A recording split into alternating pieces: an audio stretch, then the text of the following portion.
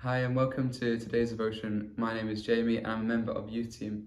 We are continuing our series uh, thought on Therefore Go in Matthew 28, and we read about the Great Commission where Jesus tells his followers to go into the world and make disciples. This week's our devotion, we are on a journey of what it's like to live by the Spirit, looking at the scriptures in Galatians 5, verse 25.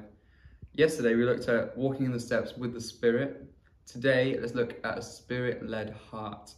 Okay, since we're living by the Spirit, let us follow the Spirit's leading in every part of our lives.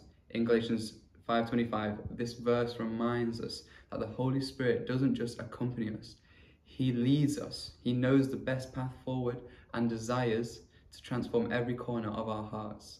One key aspect of following the Spirit leading is surrendering all control. Often, we want to hold on to specific areas like relationships, careers, or personal goals, but the Spirit seeks to shape not only our actions but our intentions. He wants to release every ambition to Him so we can um, be purified in our desires and shape our character.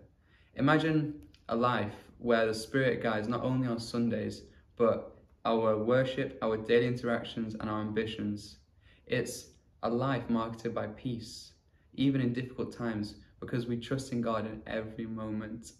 Um, a spirit-led heart does not merely obey rules, um, it seeks transformation. Letting the spirit lead um, might mean choosing to forgive someone or offering help to a stranger, but uh, um, or speaking out for justice.